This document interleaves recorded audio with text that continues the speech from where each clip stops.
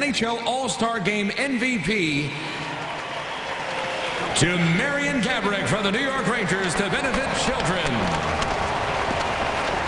Four times the MVP recipient was from Please the home from team. Tim Hortons, Bill Moore. Chief Marian Gaborik is one of the visitors from the 29 other squads that are represented in the National League and the 24 teams that were here represented in this game.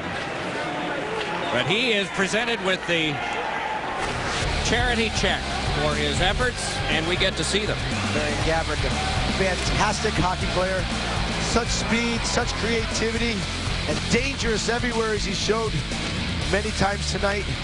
Going to the net, had the ability to play with Datsyuk and Hossa, three of the most dominant players in the National Hockey League. Marian Gaborik, not only having a great game here, but a great season for the New York Rangers. One of the reasons the New York Rangers are the top of the East standings right now.